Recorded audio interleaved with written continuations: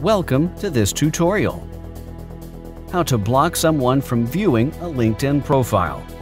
Sometimes you don't want to show your LinkedIn profile to an annoying person. You can limit the access of your LinkedIn profile by blocking a person. When you block a person, you both will not be able to see the LinkedIn activities of each other's profiles. Let's see the steps to block someone from viewing a LinkedIn profile.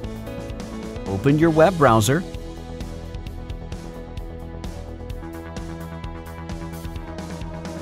type linkedin.com in the address bar and press the Enter key on your keyboard. At the top right, click on the Sign In button.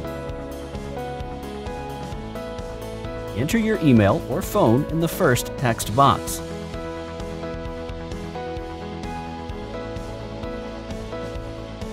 In the second box, type your LinkedIn password and click on the Sign In button. In the LinkedIn search bar, type the name of a person that you want to block. Click on a name from the search result list. From the profile page of a person, click on the name. Click on the More button. From the drop-down list, click on the Report slash Block option.